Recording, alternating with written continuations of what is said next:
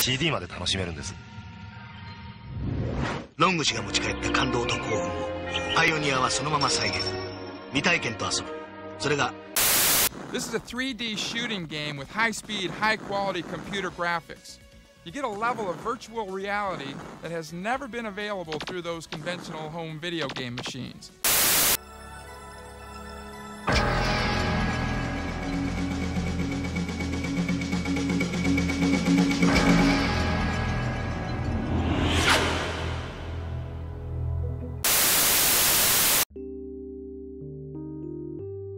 In the previous installment of Wonders of the Retro Gaming World, I explored the TurboGrafx CD and CD-ROM 2 attachments for the TurboGrafx 16 and PC Engine, which were the very first home gaming devices to use CD-ROMs. In my whimsical travels around the World Wide Web in order to research these goods, I stumbled upon the Laseractive. These are related because the Laseractive was referred to as a converged media device, and an early one at that. The main base of the console was manufactured by Pioneer and could play Laserdiscs as well as a few CD formats. However, it had partnerships with Sega and NEC that also enabled TurboGrafx 16 and Genesis games to be played through it, assuming, of course, you purchased the correct additional modules. Other examples of converged game consoles include the 3DO, Philips CDI, Commodore CD-TV, and even the Tandy Video Information System. But the sheer oddness of the Laseractive stood out to me because it brought NEC and Sega into the same console in 1993. So, without a doubt, it is indeed a wonder of the retro gaming world. Although Europe missed out entirely, the Laseractive was released in Japan on the 30th of August 1993, and then in the States on the 13th of September. The beginning of a press release at launch sums up things nicely. Marking its entry into the multimedia and video game arena, Pioneer Electronics Incorporated announces the retail launch of Laser Active, the industry's first multi-platform system to combine high-quality full-motion video, digital sound, and interactive capabilities. More than a sophisticated alternative to CD-ROM based systems, Laseractive utilizes superior quality analog video that is the hallmark of the Laserdisc format, and a high-density data storage capacity to provide consumers with the most advanced and versatile interactive entertainment system on the market today. Before we go any further, I should quickly mention the Laserdisc format if you're not already in the know. Developed in partnership with Philips, MCA, and of course Pioneer, the Laserdisc format actually predated the CD since it was released in 1978. Used for home video, it presented superior analog video and sound compared to its then rivals VHS and Betamax. However, it was hampered by its high price point and never really took off in the West until the 1990s, where it was then trumped by the DVD. While the Laserdisc is still relatively known about, the fact that the Laseractive used it as its primary source of content definitely adds to the obscureness. The base unit of the Laseractive included two disc trays. The bigger of the two played Laserdisc videos and games, while the smaller one was compatible with CDs and CDVs. If you're wondering what a CDV is, it stands for CD video, not to be confused with the far more common video CD or VCD for short. The CDV was a short-lived format that was introduced in 1987 that was capable of playing 20 minutes of digital audio which could be played in a regular old CD player but also approximately 5 minutes of analog video on compatible players like the Laseractive. An example of a use for the CDV would be a short music album that includes a single music video. It failed for reasons that I'm sure are obvious, but if you want to know more, I highly recommend an excellent video by Techmoan, which I've linked in the description. Regardless, it's interesting that Pioneer chose to include compatibility. The Laseractive on its lonesome is incapable of playing games however, so this is where its modular attachments, called packs, come into play. Sold separately, we'll start with the LD-ROM 2 pack by NEC. The module includes a slot for TurboGrafx 16 HuCard games, as well as a single controller port for the special edition Laseractive Turbo Pad it came bundled with. Once the pack is installed though, you can then also play CD-ROM 2 and Super CD-ROM games in the Laseractive CD tray, as well as a proprietary format just for the Laseractive, which was called the LD-ROM 2 disc. Those were released on 8 and 12 inch laserdiscs, and of course, played in the bigger tray. The pack came with a game called Econosaurus on LD-ROM 2, as well as a compilation CD of T16 games, which included Gates of Thunder, Bonk's Revenge, Bonk's Adventure, and Bomberman. It should be noted that the American version of this pack is considered to be quite rare because of the T16's poor performance in the West. However, the Japanese version is far more common, and fortunately, also region free. The other half of the games were playable using the Mega LD pack, which included a cartridge slot for Genesis games, as well as two controller ports. Just like the LD-ROM 2, it also came bundled with a special edition controller.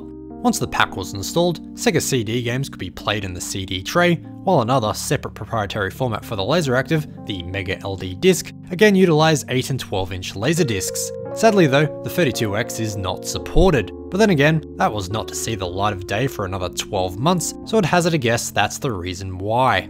The Mega LD also came with games. This time around it was Pyramid Patrol on the Mega LD format, as well as a compilation CD that included Revenge of Shinobi, Golden Axe, Streets of Rage, and Columns. It should be noted that if either the LD-ROM 2 or Mega LD packs are installed, the Laseractive will be able to read the CD plus G format. The G stands for graphics, and this additional obscure 80s disc format is capable of showing low-res graphics as audio plays. Now, this format was mostly used in karaoke machines, but that wasn't very useful here since neither pack included microphone inputs. Luckily, the Laseractive had just the pack for that. The karaoke pack, as it was so called, enabled the Laseractive to play 200 laser karaoke titles. As you can imagine, this format was on Laserdisc, this pack included two microphone inputs as well as a bunch of audio controls. There are volume knobs for each mic input, plus other buttons that control aspects of audio such as tone and echo. The fourth and final module, the computer interface pack, is a bit trickier to find information on. It's not even mentioned in that initial press release or western advertisements, leading me to speculate that it was only ever released in Japan. It includes an RS-232 serial port that allows it to interface with a computer, essentially permitting the Laseractive to be programmed by software. So, why would you want to do this? Well, this answer took me quite a while to develop, but after a bit of research, I discovered that there are commercial Laserdisc players out there that also include a serial port. These are used to perform functions, such as adding overlays to videos for activities like karaoke or arcade games like Dragon's Lair. Things like that, Think multimedia setups. This theory was proved when I came across a Japanese brochure for the Laseractive which had a section on this pack. Using Google Translate, which performed admirably by the way, it said this. The computer interface pack is attached to the Laseractive and connected to a personal computer so that you can freely control your Laserdisc or CD from your computer and transform it into original interactive software. Examples include editing a Laserdisc movie as you like, turning karaoke into quizware, and more. It depends on your idea. How nice. It came with software on floppy disk called the Laseractive Program Editor, which was compatible with DOS and Mac OS. While there were no more packs released, there are a few more side notes worth mentioning. For one, there were 3D goggles. These were actually compatible with the Sega Master System, believe it or not. Two goggles could be attached to the Laseractive at once using an adapter as well. However, only four LD-ROM 2 games were ever compatible, ensuring that this was quite the underused accessory. The second thing I wanted to mention was that, interestingly, NEC actually released a clone of the Laseractive, which was called the LD-ROM 2 system, in the December of 1993. This was exactly the same price as the Laseractive and accepted all the packs and accessories. I can't find any solid information as to why this was a thing, but at a guess, it was part of the licensing agreement between Pioneer and NEC. The Laseractive was a console though, so let's talk about the games. With all packs at your disposal, your Laseractive could play approximately 1500 games across all the different formats. But for the sake of this video, your bandwidth and my sanity, let's just focus on the games encoded on Laserdisc. While it was hard to find a specific figure, it appears that something like 9 games were released on NEC's LD-ROM 2, while about 20 are out there for the Mega LD. These are relegated, for the most part, to three different types of games.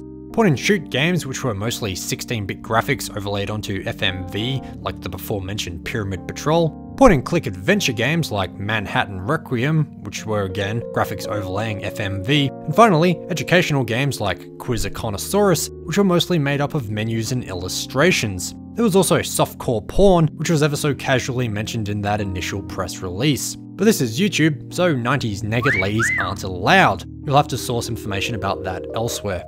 Regardless, are you seeing a pattern? These were not defining games of the fourth generation. While FMV was cool for about 10 minutes, it was quickly surpassed by real-time 3D environments universally only a year later on newer consoles. On a technical level, these laserdiscs were capable of holding 60 minutes of video and audio each side, as well as 540 megabytes of data. These games were more or less interactive menus, and presumably didn't require much to run. I wish I could tell you the specs the Laseractive was rocking, but that information simply doesn't seem to exist on the internet. If you happen to know or at least have a good hunch, then please let me know in the comments. Some may argue that the world of advances in consumer technology is moving too quickly. Others wonder if what they own today can be used tomorrow. Knowing that, Pioneer has developed the Laseractive Player, technology that allows you to enjoy everything you already know and have come to appreciate in Laserdisc quality. And now gives you the chance to experience the interactive future of games, learning systems, music, theater, and movies, all with a single touch.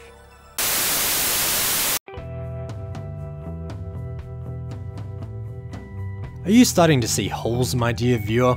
You're probably starting to ask questions like, why haven't I heard of this beast and why haven't I seen one at Goodwill? Well, the answer to that is that the Laseractive was a fair bit of a failure. There were several reasons for this, but the grandest by no contest was the cost.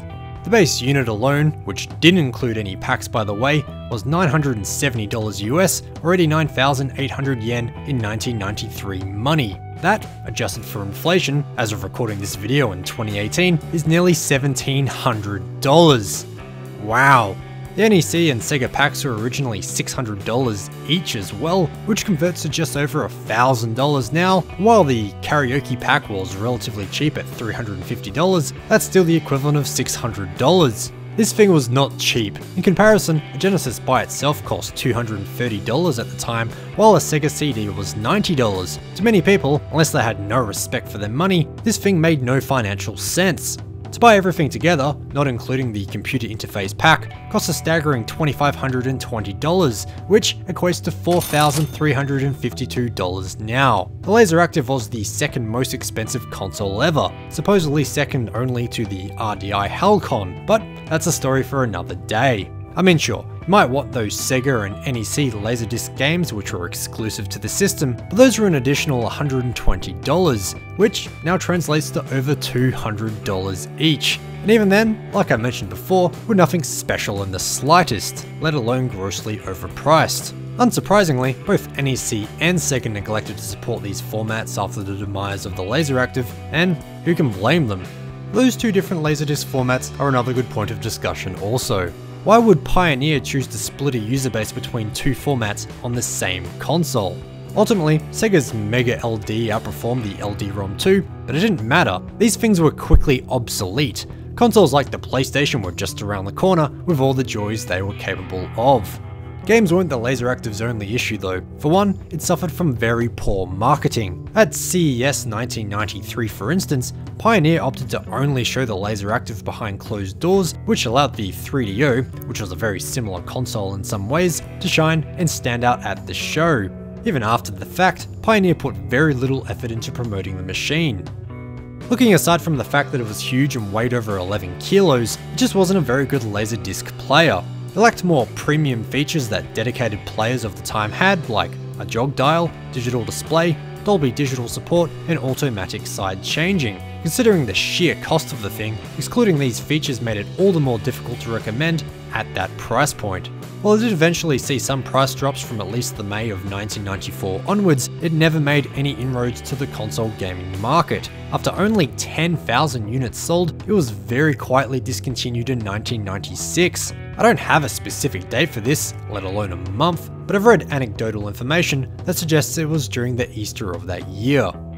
If you're interested in buying a unit today, you should know that these fetch a price very similar to that of the 90s, You'd have to hate your money as much as anyone who bought one brand new. Most games will set you back over $100 too, unless you want the 90s naked ladies. Be prepared to pay a lot more for those. And sadly, emulation is not really an option. While there is an emulator called Daphne that is more geared towards Laserdisc arcade games, being far from Laseractive specific. Pioneer is celebrating its 80th anniversary this year, guess how many gaming devices they made before or after the Laseractive? If you answered zilch, then congratulations, you would be correct. I think it's safe to assume that this project scared them away from gaming permanently.